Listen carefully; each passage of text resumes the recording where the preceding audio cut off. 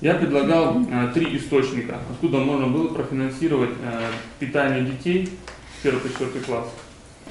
Мною было принято решение предложить э, именно третий вариант, э, где вся сумма в 28 миллионов 446 тысяч рублей э, была взята из нескольких источников. По федеральному закону мы обязаны с вами, не, не, не просто как мы с вами решим, а мы обязаны предоставлять льготы детям, детям из малообеспеченных семей, детям с ограниченными возможностями здоровья, детям инвалидам.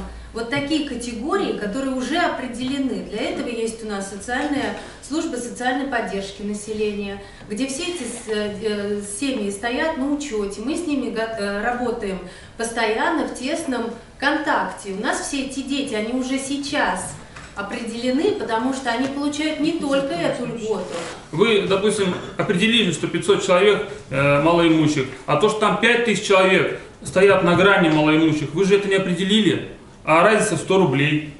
Понимаете? А люди не могут выделить денег. предоставят, Они будут определены, если предоставят соответствующие документы. А как Ну, они- как они предоставят, если они не могут А юридически 100 это нельзя рублей никак, чтобы... Обычно у каждая школа знает, Да. где у них какие семьи. Да, да. Однозначно. Когда дети идут в первый класс, обязательно все учителя узнают ситуацию в семье.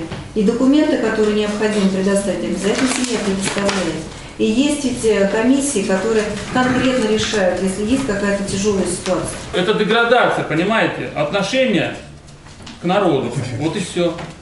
И Спасибо. вы, вы то же самое делаете сейчас. Вот вы сейчас большинством примете решение, да, чтобы не уделять эти деньги. Ну, это там будет Ну на вашей совести. комиссии будем рассматривать ваш вопрос. Да, понимаете, вы можете рассматривать на согласительной комиссии. Я понимаю, что вам это не нужно. Вот и все. У нас в уставе указано, что э, мы должны в интересах народа действовать. А мы в интересах кого действуем? Администрация предлагает и настаивает на своем мнении. А принимает решение кто? Совет, депутат каждый.